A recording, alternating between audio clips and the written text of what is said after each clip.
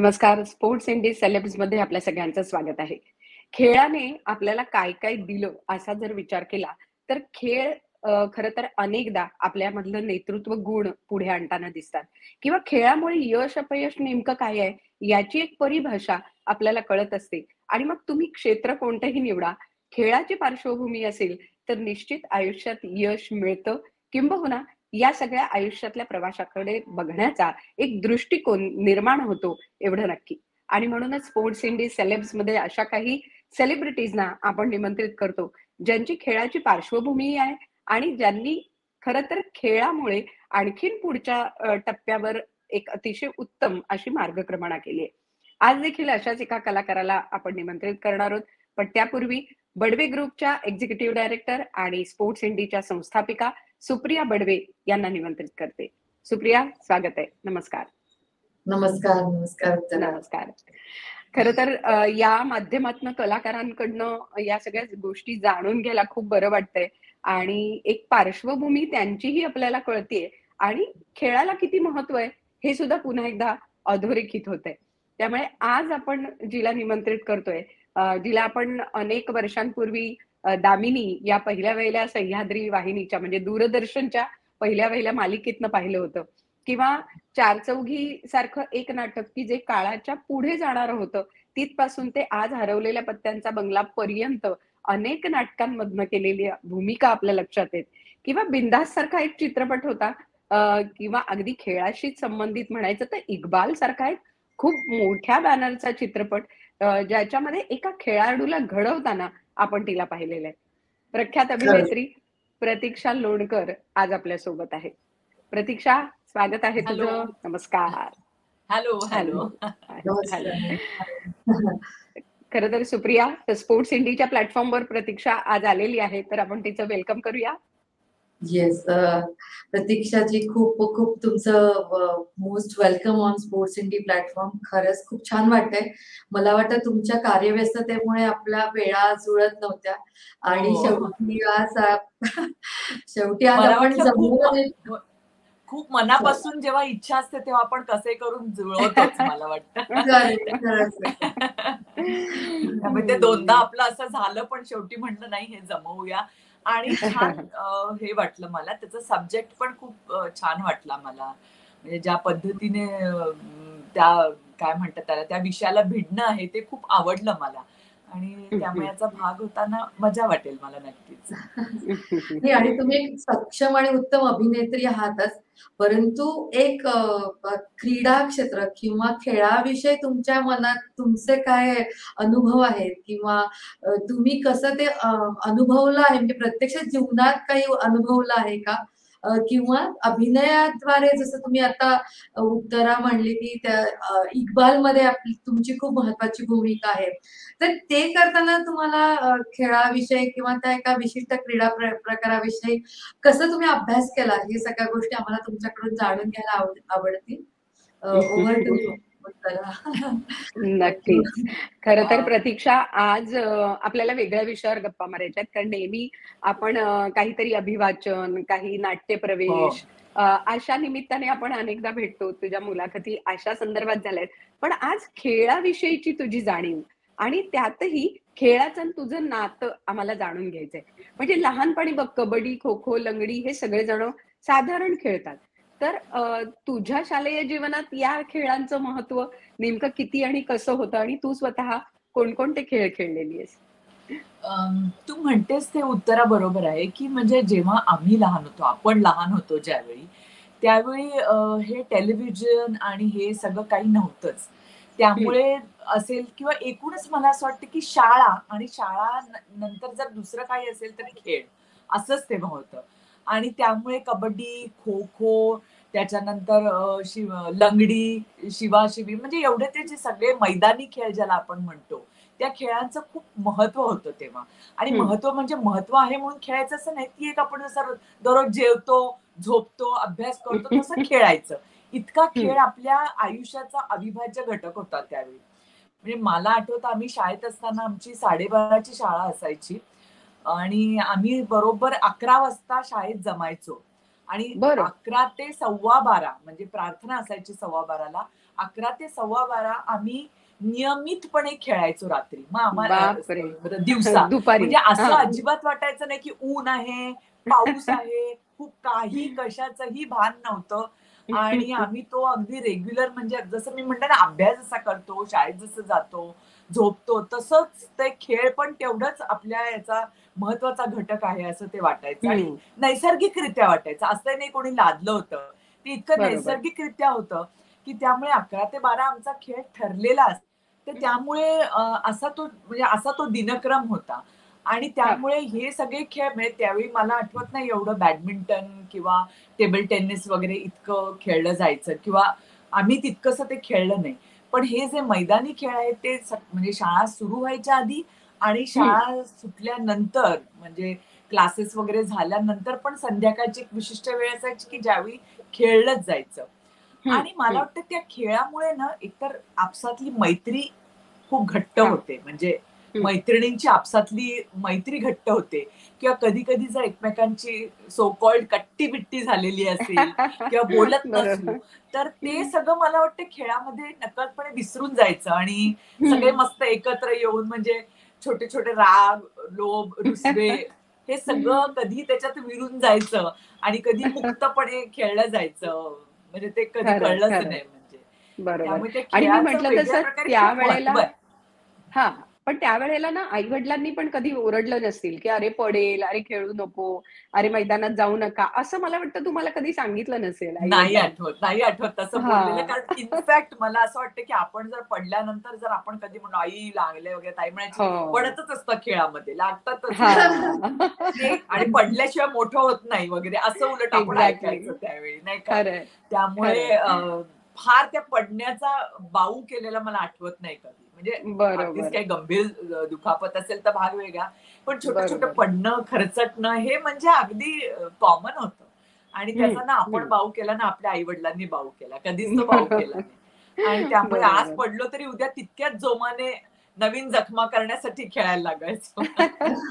बरोबर आहे. आणि पडण्यातनं उभं राहणं पुन्हा एकदा म्हणजे म्हणतो ना आपण की अपयशाकडनं यशाकडे यशातून काही मधले टप्पे आले अपयशाचे तरी पुन्हा एकदा यशाकडे हा- ही जी वाटचाल आहे ना ती पडण्या झडण्यातच मला वाटतं हो पुढे एकूणच पण ती. खेळामध्ये मी म्हंटल ना तुला मला खेळाचा. खूप महत्त्वाचा भाग आहेच म्हणजे जो सगळ्यांनाच आपल्याला माहितीये मला असं वाटतं की जे आपण खिलाडू वृत्ती जी म्हणतो आपण. किंवा स्पोर्ट्समन. स्पिरिट जे आपण म्हणतो ते तुमच्यामध्ये खेळण्याने इतकं आपोआप तुमच्या तयार होत असतं आणि मग. आपल्याला ना लक्षात येतं की म्हणजे अरे हार जीत हे जे प्रकार आहेत किंवा मा- मा- मला यश मिळालं मला अपयश मिळालं या इतक्या कमी महत्त्वाच्या. गोष्टी ठरतात ना खेळणं. हे महत्वाचं ठरतं तसंच मला असं वाटतं की कुठे. पण आपल्याला असं जे आहे ना की आज मला परफॉर्म करताना सुद्धा जेव्हा काही आपण. परफॉर्म करतो त्यावेळी बरोबर. परफॉर्मन्स चांगला झाला किंवा तो विनिंग झाला किंवा कसा झाला याच्यापेक्षा ते करतानाचा जो आनंद आहे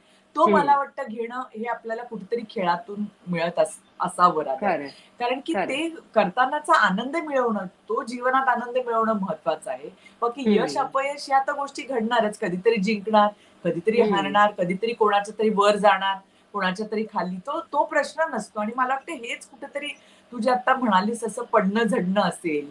किंवा जेव्हा. आपण दोन टीम तयार करतो आता कोणत्याही खेळामध्ये जसं कबड्डीमध्ये असेल याच्यात. त्या दोन टीम करताना आपल्याला माहितीच असतं की एकदा कोणीतरी हारणार आहे एकदा कोणीतरी जिंकणार आहे. त्यामुळे तसं त्याला काही फार महत्त्व नसतं. खेळताना जो आपण आनंद अनुभवतो ना तोच त्याच्यातला सगळ्यात महत्त्वाचा भाग आहे असं मला. बरोबर आहे बरोबर आहे. एका परीने आयुष्याकडे बघण्याचा दृष्टिकोन खेळ आपल्याला देतो हे मात्र हो. शंभर टक्के. नाही का सुप्रिया? काय वाटतं? अगदी अगदी नक्की अगदी अगदी. म्हणजे मला एकतर ऍक्च्युली आता त्यांच्याबद्दल हे बोलायचं की त्यांनी आता इतका सुंदर एक प्रसंग सांगितला लहानपणीचा जो मला वाटतं आपण सगळ्यांनी अनुभवला आहे. सगळ्यांनी अनुभवलाय. कट्टी आणि पक्की पण खूप गोडपणे सांगितला. खूपच गोड सांगितलं. सांगितलं ऍक्च्युली म्हणजे त्याला दुसरा शब्दच नाहीये फक्त. इतकं असं हे बोलायचं. पण मला वाटतं की खरंच या गोष्टी खूप महत्त्वाच्या आपण शिकल्या. पण मला एक कसं आता मला तुम्ही म्हणालात की आपल्या आई वडिलांनी आपल्याला त्याची तेवढी मुभा दिली किंवा त्यांनी आपल्याला उलट मला असं आठवतं की म्हणजे आपण जर पडलो तर ते म्हणायचे "अह, काही होत नाही. अ उंदीर पळाला झाला झाला म्हणजे आपल्या गोष्टींना त्याच्यातून बाहेर कसं काढायचं? त्या परिस्थितीतून. म्हणजे खरं. लागलेलं जरी असेल तरी ते विसरायचं कसं? आणि पुन्हा आपल्या पूर्व जो काही आपला गोल आहे त्याच्यावर कसं कॉन्सन्ट्रेशन करायचं? एक. हे छोट्या छोट्या गोष्टीतून ते शिकवायचं मला वाटतं आपल्याला हे खरं. पण. मला असं वाटतं की आता जर आपण आपली पिढी किंवा आपल्या नंतरची पिढी असं मला माहिती नाही पण मला असं वाटतं की आपण जरा जास्त कधी कधी प्रोटेक्ट करतो का मुलांना? म्हणजे काय झालं ना त्याच्यामुळे काय झालं मला वाटतं की त्यांना आपण त्यांचं फ्रीडम जे काय म्हणजे त्यांचं जे स्वातंत्र्य आहे त्यांना खेळाचं ते थोडं कधी कधी आपल्याच्यानी रिस्ट्रिक्ट होतं आणि मग म्हणून मग ते जास्त गॅजेटकडे वळतात का असं पण मला तुम्हाला विचारायचं आहे की तुमचं काय मत आहे याच्याबद्दल काय वाटतं हे तुम्हाला थोडस हे थोडस मिक्स आहे असं मला वाटतं याच्यात आपण असं कोणत्या फार कन्क्लुजनला येता येणार नाही याच्यामध्ये. थोडं आपण आहोत ओव्हर प्रोटेक्टिव्ह आहोत आपण निश्चितपणे आहोत. आणि आपण आपल्याला जरासं लागलं तरी आपल्याला आपण लगेच त्याला. डेटॉलनी पुसणार मग त्याला आपण काहीतरी एखादं ऑइंटमेंट लावणार वगैरे हे आपण करतोच म्हणजे किंवा आपणच जास्त हळहळतो हा. आणि अरे म्हणलं होतं ना. तिकडे जाऊ नको आपण.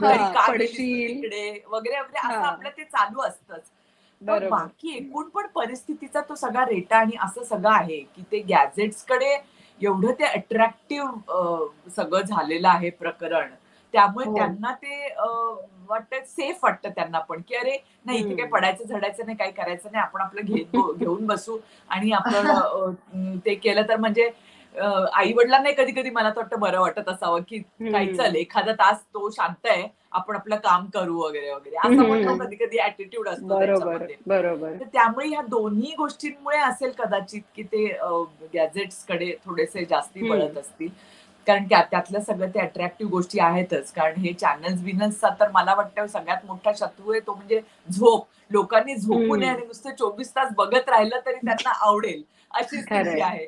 त्याच्यामुळे मुलांना पण जितकं काही अट्रॅक्टिव्ह देता येईल तितकं त्याच्यावरती ते असतं. आणि मग मुलांना ते खेळण्यासाठी जे कष्ट वाटतात आता. म्हणजे आपल्याला कधी ते कष्टच वाटले नव्हते. आणि आता. त्यांना खेळणं हे कधी कधी कष्टप्रद वाटतं अक्षरशः.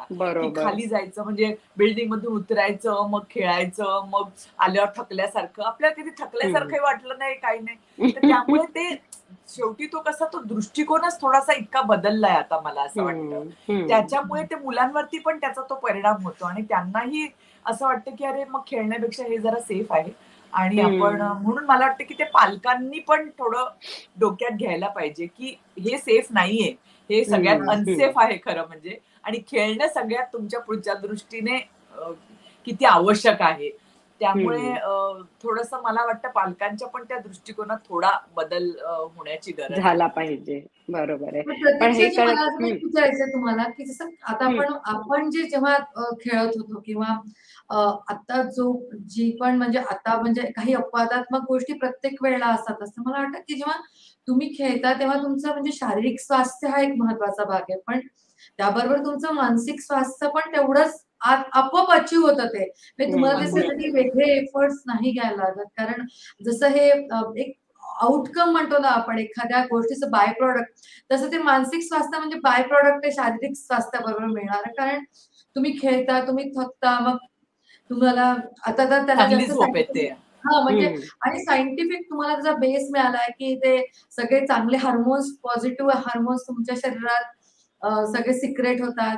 तर या सगळ्या गोष्टी किती महत्त्वाच्या आहेत? म्हणजे त्यामुळे त- याचं महत्त्व काय आहे किंवा मानसिक स्वास्थ्य जास्त महत्वाचं आहे असं तुम्हाला वाटतं का म्हणजे? डेफिनेटली खूप महत्त्वाचा मुद्दा आहे हा असं मला वाटतं.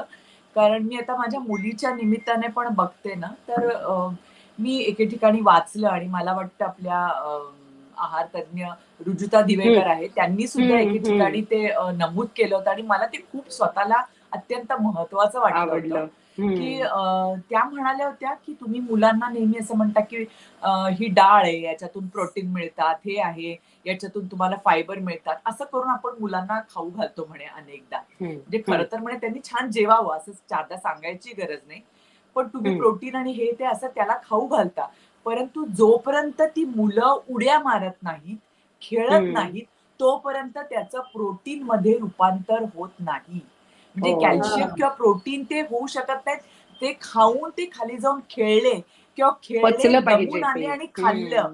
तर त्याचं त्या. प्रोटीन मध्ये कॅल्शियममध्ये पाहिजे त्या जसं तुम्ही म्हणता ते पाहिजे ते हार्मोन सिक्रेट होतात हे सगळं तर मला हे. एवढं महत्वाचं वाटलं की आपण अनेकदा फक्त आहाराकडे असं लक्ष देतो पण ह्या गोष्टी आपल्यासाठी आपल्याला वाटतं खाऊ घातला आपण त्याला पाहिजे ते खाऊ. घातलं. प्रोटीन खाऊ घातले विटामिन्स खाऊ घातले आता तो चांगला होईल तर तसं नाहीये त्याच्याबरोबर तो खेळला पाहिजे. त्याच्या हाडांना जेव्हा उड्या मारल्यानंतर त्याच्या हाडांना जेव्हा तो व्यायाम मिळेल त्यावेळी त्याचं हाडं मजबूत. होतील. त्यावेळी त्याचं.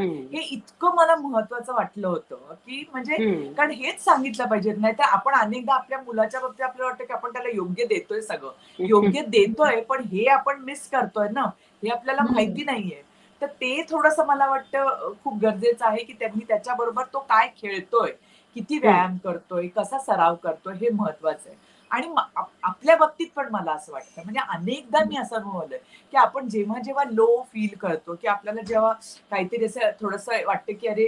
काय हे असं होतंय वगैरे अशा. वेळी मी स्वतः जेव्हा चार राऊंड वॉकच्या करून आलेली आहे त्यावेळी मला जे फ्रेश वाटलेलं आहे कारण. खरंच आहे म्हणजे याच्यात काही खोटं नाही की जे आपल्याला पाहिजे ते हार्मोन सिक्रेट होतात आणि मग आपल्याला उत्साही वाटायला लागतं आपला बघण्याचा आजूबाजूला दृष्टिकोन बदलतो हे मी स्वतः अनुभवलेलं आहे. तर त्यामुळे मला वाटतं की हे खूप खूप महत्वाचं आहे. शारीरिक स्वास्थ्य आणि मानसिक स्वास्थ्य हे असे हातात हात घालूनच जातात. त्याच्यामुळे.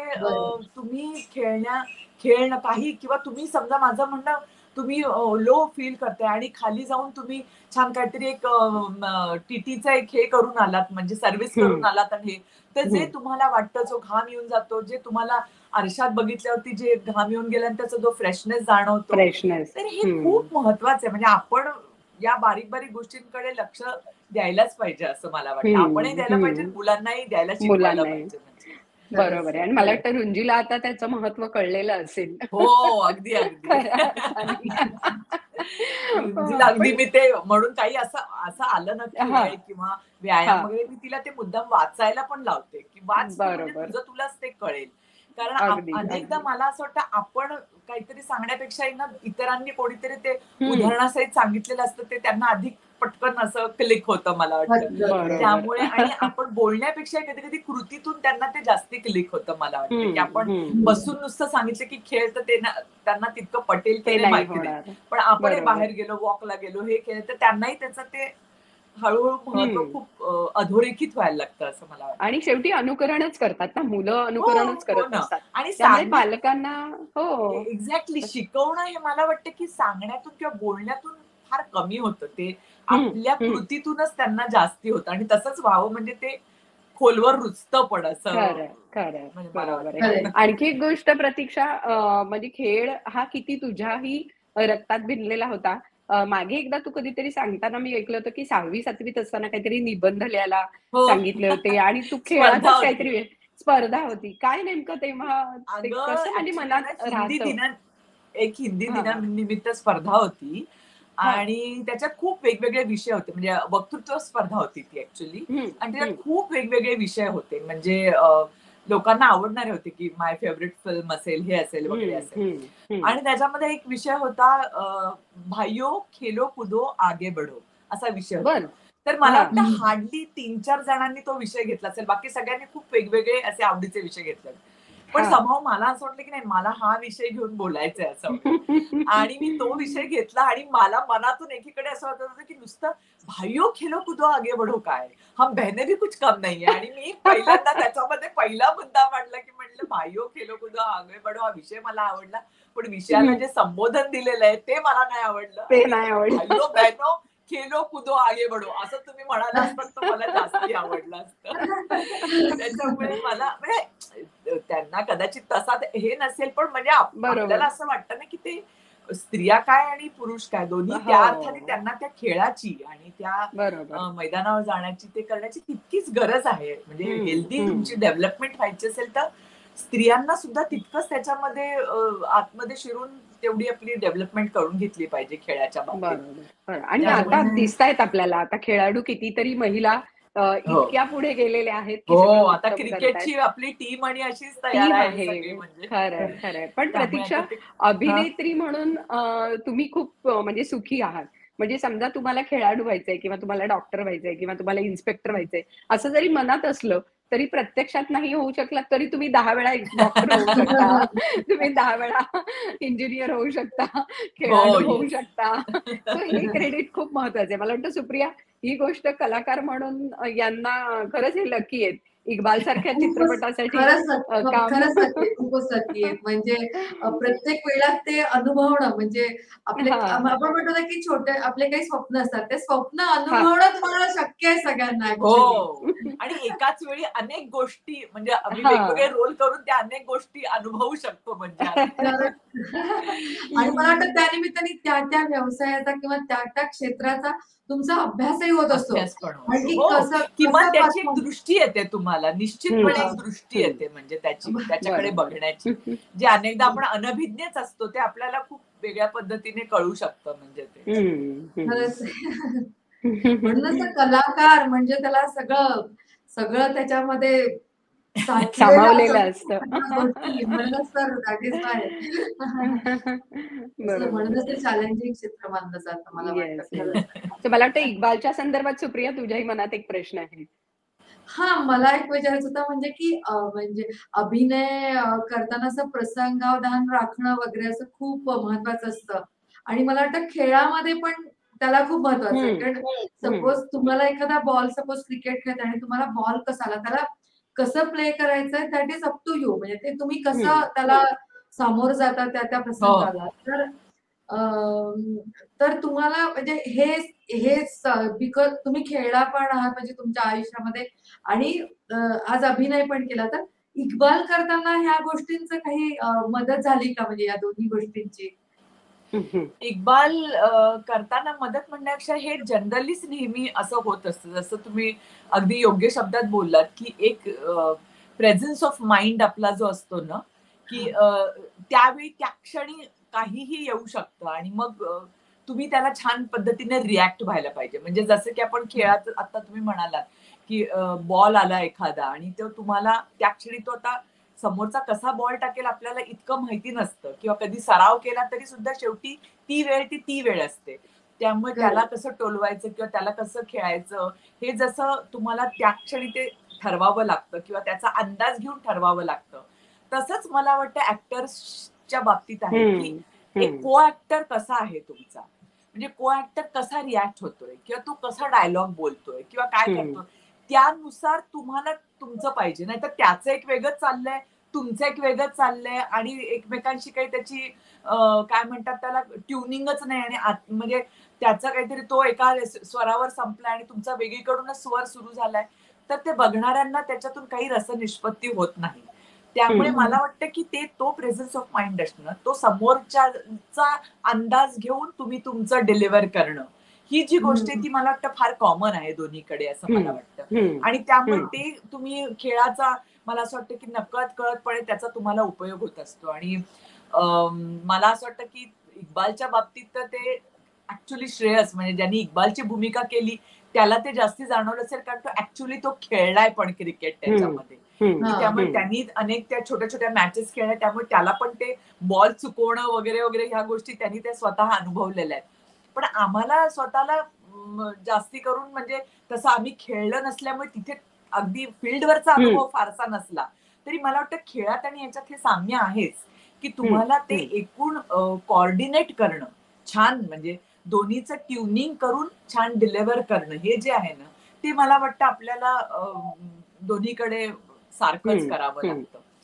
आणि त्यामुळे आम्ही पण म्हणजे इक्बालचं पण आम्ही मॅचेस पण पाहिल्यात हे बघितल्यात खूप मजा वाटत हम्म. होती म्हणजे ते सगळं करताना कारण कधी कधी असंही असतं की तुम्ही मॅच ऍक्च्युली एखादा बॉल खरं म्हणजे खूप चांगला आहे तो म्हणजे प्रत्यक्ष खेळताना पण तो बॉल कदाचित त्या कॅमेऱ्यात टिपलाच जात नाही त्यामुळे परत अजून वेगळा. काहीतरी बॉल म्हणजे अशी पण गंमत असते की जो हो. दिसताना सॉलिड दिसत असतो पण तो. बॉल कॅमेराने टिपलाच नाही तर तुम्हाला परत वेगळाच बॉल टाकून ते वेगळं आपल्याला इल्युजन. क्रिएट करावं लागतं. त्यामुळे ही गंमत आहेच म्हणजे ती त्याच्यामध्ये. म्हणजे या सगळ्या पडद्या मागच्या गोष्टी पण तुला अनुभवता आल्या थोड्या. या हो, तुला गंमत सांगते मी उत्तरा.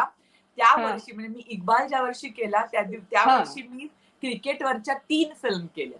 ओ ग्रेट म्हणजे इक्बाल केली फिल्म त्याच्यानंतर इक्बाल सगळ्यांनाच माहितीये नंतर हॅट्रिक म्हणून मी फिल्म केली कारण त्यावेळी. वर्ल्ड कप इकडे इंडियात होता तर डॅनी डॅनी डॅनझप्पा नाना पाटेकर आणि कुणाल कपूर तर मी नाना. पाटेकरची जी स्टोरी होती त्याच्यात मी होते त्याची. बायको त्यांची. बायको तर ती पण क्रिकेटच्या संदर्भातली आणि सेम आपण जे आताचं जे थीम आहे ना तेच. होतं की एक चिडचिडा. माणूस असतो आणि. तो कसं ती मॅच बघितल्यानंतर त्याच्यामध्ये कसं ते हळूहळू मतपरि म्हणजे खूप चिडचिडा खूप अलूफ. आणि असा तो माणूस असतो आणि त्याचे फॅमिलीशी नीट संबंध नाही हे नाही आणि तो क्रिकेटची डॅनी हा वेर एकदम खेळणारा माणूस आणि मॅच. बघणारा पण तो गंभीर आजाराने त्रस्त असतो आणि गंमत. म्हणजे तो त्या खेळामुळे इतका हेल्दी राहतो त्याच्यात एवढा गंभीर आजार. असून आणि हा एवढा नाना पाटेकर सारखा माणूस हा इतका डॉक्टर माणूस पण तो चिडचिडा हे तो आणि मग. हळूहळू मॅच. बघून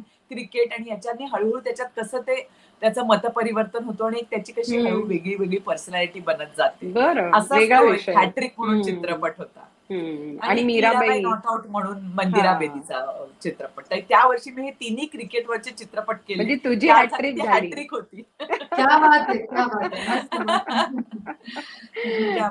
म्हणजे.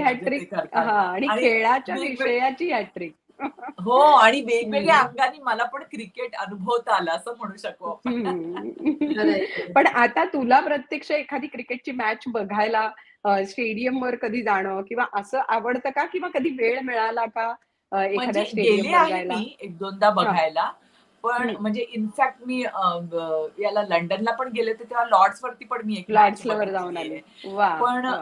ऍक्च्युली ना मला असं ते बघताना एक गोष्ट जाणवली की थोडी टेलिव्हिजन वरती मॅच अधिक जास्ती चांगली दिसते. कारण की तिकडे इतकं दूर दूर सगळं असतं ना म्हणजे हो. आपल्याला ते सगळं फक्त एवढंच की आपण ते लाईव्ह बघायचा तो एक वेगळा हे. असतो नाही असं नाही पण टेलिव्हिजन वरती ज्या पद्धतीने तो रिप्ले आणि हे आणि ते ते सगळं दाखवलं जातं ना त्यामुळे ती अधिक. आपल्याला चांगली कळते ती मॅच असं मला वाटतं बरोबर ती गंमत वेगळी आहे हो पण त्या प्रत्येक वेगवेगळ्या गमती. असतात त्यामुळे मला वाटतं आणि तसा पण आता- अनुभव एकदा घ्यायला पाहिजे आणि असं बरोबर आणि आता तर क्रिकेटमध्ये असं होतं ना की आउट झाला तरी थर्ड अंपायर ते क्लोज जाऊन हो. स्लो मोशन सगळं सगळं त्याच्यामुळे तुम्हाला ते हा. सगळं समजतं ना म्हणजे तिथे कधी. कधी मॅचला ते असं दूर कधी कधी चाललंय असं वाटतं आपल्याला आणि प्रतीक्षा हा. हा तो तो एक अनुभव वेगळा असतो खऱ्या अर्थाने हा. पण प्रतीक्षा आणखी एक मला विचारायचंय की जर जर खेळाडू झाली असतीस तर कोण व्हायला आवडलं असतं तुला आता म- मला मुलगा सांगायची हे आहे का? हो हो. मुलगा सांगायचे जर तू खेळाडू झाली असतीस मुलगा मग मुलगी मी विराटच झाले असते. मग मी विराटच ओ. झाले असते. हो. पण म्हटलं मुलगा सांगायची परमिशन असेल तर विराट आहे आहे.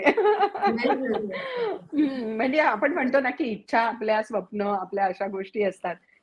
ज्या तुम्हाला स्वतःला त्या परफॉर्म करता येतात. हो. आता अगदी सिनेमा म्हटला तर विराट नाही होता येणार आहे तुला पण या सगळ्या चित्रपटातनं तुला हे करता आलं. पण अगं तू म्हणतेस ना की सिनेमा हा. आणि खेळ किंवा क्रिकेट वगैरे यांचा हा, संबंध क्रिकेट आणि. मनोरंजन एका दृष्टीने. मनोरंजन आणि हे यांचा नेहमी जवळचा आहे. आणि मी. आता परवा पण एक सुनील गावस्करांचा अशोक सराफांच्या याला एक हे बघत होते ना हो हो म्हणजे माझ्या हो. लक्षात आलं की फार जवळचं आहे ते सगळं इतकं ना म्हणजे. त्याचं त्यांची जी फटकेबाजी चालू होती आतषबाजी बोलण्यातली पण. आणि इकडे आपण म्हणतो तशी मैदानावरती पण त्यांची फटकेबाजी म्हणजे दोन्हीकडचा जो एक मजा आहे ना ती खूप जवळची आहे असं मला नेहमी वाटतं म्हणजे आणि असं. पण बॉलिवूडमध्ये पण आपण नेहमी बघतो की अनेकांची क्रिकेट आणि म्हणजे हो. एंटरटेनमेंट आणि अं, खेळ यांचं नेहमीच. जवळचं नातं राहिलेलं आहे बरोबर आहे बरोबर आहे त्यामुळे तू विराट सांगितलंस कारण अनुष्का मनोरंजनाला सो असंही एक नातं आहे मला वाटतं खूप छान गप्पा खेळावरच्याही होऊ शकतील प्रतीक्षा असं यापूर्वी वाटलं नव्हतं कारण आपण इतर विषयांवर इतक्या गप्पा मारलेल्या आहेत पण हो, खेळाविषयी उत्तरा ही अशी आहे बरं का सुप्रिया मी तुम्हाला सांगते उत्तर अशी आहे की ती आपल्याला इतक्या वेगवेगळ्या क्षेत्रात नेऊन आणते ना आणि आपल्याला त्यामुळे हो. बरं असतं माहितीये ना खेळ. असेल मग अभिवाचन असेल मग ना नाट्यवाचन असेल त्याच्यामुळे ना आपल्याला पण एक माणूस म्हणून ना खूप छान तो समृद्ध करणारा अनुभव ठरतो आपण पण खूप कारण अदरवाईज ऍक्टर्स आणि यांचं म्हणजे लाईफ कसं असतं ना खूप बिझी आणि असं असतं ना म्हणजे. वेळा विचित्र हे विचित्र बाहेरच्या जगाकडे बघायला अनेकदा वेळच मिळत नाही आणि खूप आपल्यात. मग्न असतो पण. ह्या निमित्ताने मला असं वाटतं की तुम्ही सजगपणे सगळीकडे बघू शकता डोळसपणे. तुम्ही बघू शकता सगळीकडे त्यामुळे जेव्हा आम्ही जेव्हा म्हणजे हे स्पोर्ट्स इंडीचं आमचं आधीच चालू होतं त्यानंतर मी उत्तराला जेव्हा भेटले त्याच्यानंतर मी तिला म्हणलं नाही आपण असं काहीतरी एक वेगळं करूया. आणि मग तिला पण तो कन्सेप्ट आवडला की आपल्याला काहीतरी चांगलं नॉलेज टँक क्रिएट करता खूपच म्हणजे एक छान आता एक दीड वर्षापासून आता खूप चांगलं आमचं एक छान प्रोग्राम छान उपक्रम आहे खूप छान उपक्रम आहे मी तेच म्हणलं ना. आणि असं काहीतरी त्याची वेगळं मांडणी केली ना तर ती. अपील पण पटकन अपील पण होते. अपील. पण होते ऍक्च्युली एक खेळा तुम्ही हो. जी निरसता आहे ती ह्याच्यात. नाहीये ती निरसता आणि प्रतीक्षा गेलं वर्षभर आम्ही वर्ल्ड ऑफ स्पोर्ट्स हा कार्यक्रम करतोय म्हणजे वर्ष. वर्ष जवळपास झालं दर शनिवारी आम्ही वेगवेगळ्या खेळातल्या एक्सपर्ट्सना आम्ही आणतोय आणि स्पोर्ट्स इंडी आणि मितीचं आता ते एक छान नातं झालंय की आम्ही या प्लॅटफॉर्मवरनं खेळाला सजगता यावी या दृष्टीने हो. मी प्रयत्न करतोय आणि. हे म्हणजे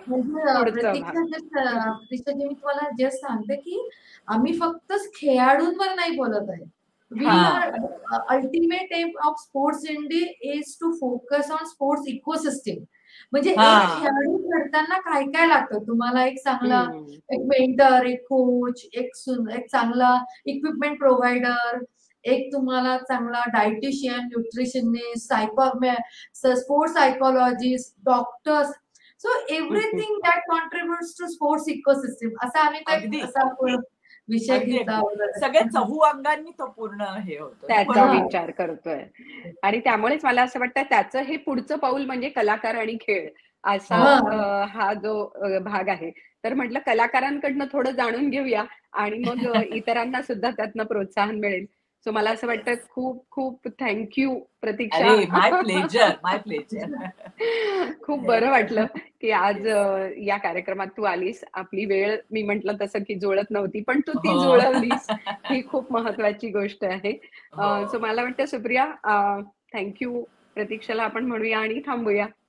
शुअर शुअर अगदी खूप छान आणि खूप छान. गप्पा गप्पा झाल्या म्हणजे स्पेसिफिकली खूप ओघवत्या आपल्या गप्पा झाल्या म्हणजे त्याला हो. खूप जास्त एक छान वेगळा आयाम मिळाला मला असं जाणवलं आज या सगळ्या आपल्या संवादाला तुम्ही आला त्याबद्दल खूप खूप धन्यवाद आणि असंच आम्हाला sports इंडीला yes yes yes group is they are already in connection with you पण मी स्पोर्ट्स इंडीला पण तुमच्या बरोबर कनेक्ट व्हायला खूप आज आपण कनेक्ट झालो आहोत पण हे हो. स्नेहबंध जास्त दृढ करायला जास्त आवडेल ऍक्च्युली येस नक्की नक्की नक्की. नक्की. Thank you thank you so much thank you bye. Bye have a nice day bye. Bye